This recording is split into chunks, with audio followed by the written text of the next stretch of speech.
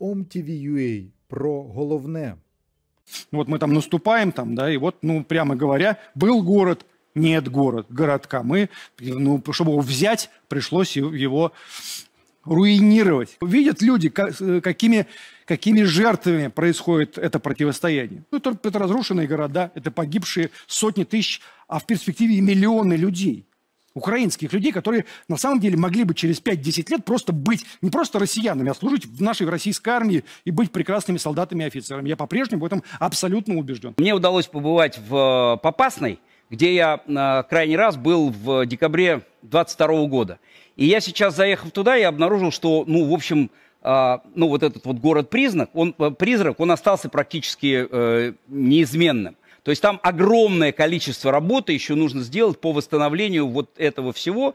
А, Я сейчас в рекламу выложил уже этот ролик э, к себе в телеграм-канал. Можете посмотреть. Там это не то, что какие-то там выдержки. Это вот ты просто можешь ехать и снимать, и снимать, и снимать, и снимать. Ничего не изменится. Сейчас находимся возле а, супермаркета Манна. Прямо в данную секунду здесь прилеты. Люди побежали искать укрытие. Пока неизвестно, есть ли пострадавшие. Однако на улице находилось очень много людей.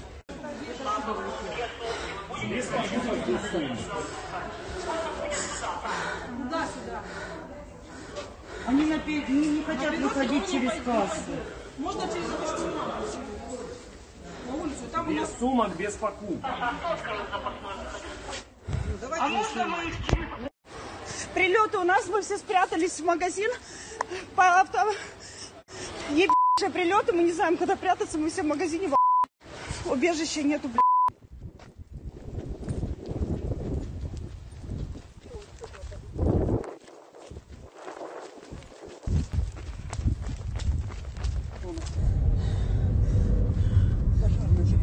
Пиздец, як як близько. Зараз така ситуація, що ти, по-перше, мусиш як бойова одиниця, по-друге, як досвідчена бойова одиниця, по-третє, як людина, яка може командувати. І найголовніше, ну як на мене, це показувати ну, власний приклад. Що, по-перше, війна це не обов'язково смерть або каліцтво. По-друге, поранення це не обов'язково знову ж каліцтво. А е, по-третє, це е, те, що інколи необхідність навіть вище за спроможність. Ми зараз е, на стадії динамічної оборони. Зараз триває стадія повторного наступу росіян, тобто нашої динамічної оборони. Тут або перемога, або поразка.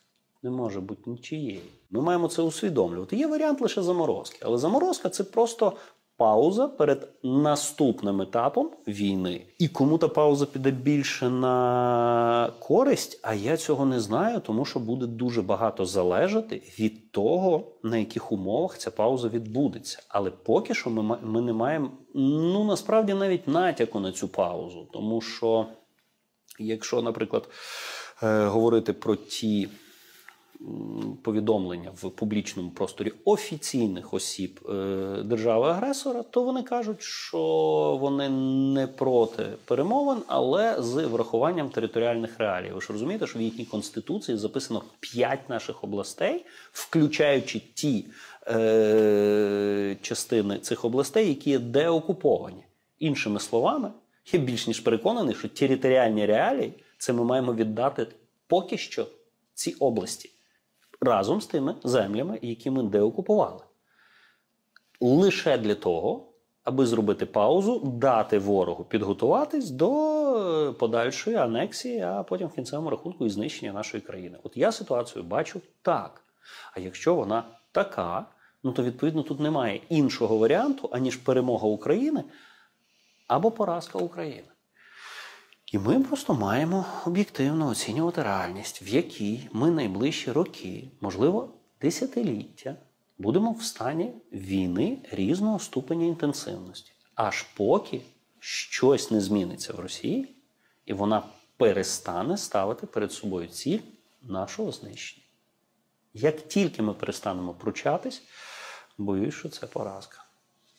Нехай не одразу, нехай не за місяць, але за декілька років Це може закінчитись повною окупацією України. Людей, перш за все. І засобів, в тому числі. Якщо говорити про лінію зіткнення, ну, перш за все, артилерія.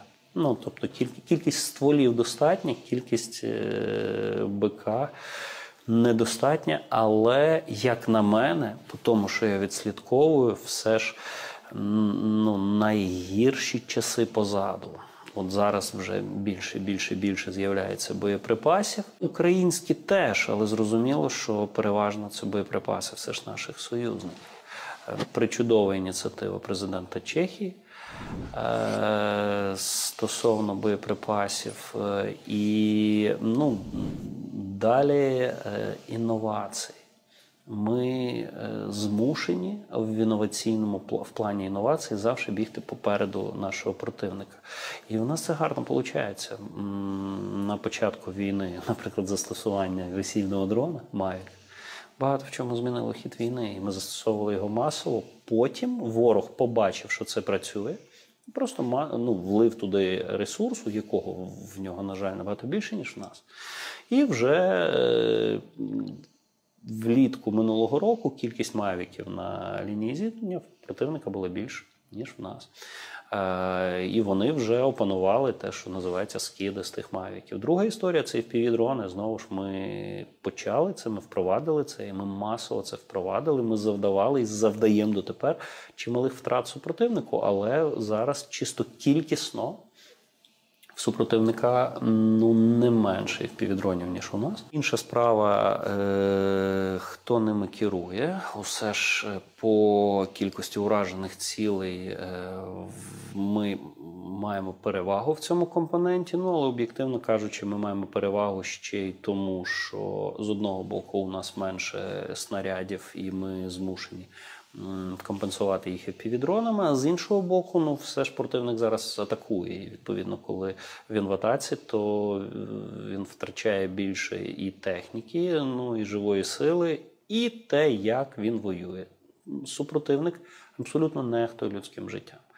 Е, Тому це теж фактор важливий щодо кількості ураження. От це FPV-дрони. Далі інновації усілякі різні. Е, Тому що хто перший, наприклад, втілює ту чи іншу інновацію, він отримує певну перевагу на полі бою. Так, на полі бою уже досить давно і раніше, чим у супротивника, з'явились наземні роботизовані комплекси. Але нещодавно я вже бачив відео знищення нашими FPV-дронами ворожих наземних роботизованих комплексів. Тобто вони теж рухаються в тому напрямку. убеждал в этой связи республиканцев проголосовать быстро и положительно лично глава Пентагона Остин. Палат представителя министра обороны США опять пугал Путиным. Сказал, что если США не поможет Киеву, то сдерживать российские войска надо будет в Прибалтике и Польше. Еще один аргумент «за». Украина не просит американских солдат, а просит только оружие.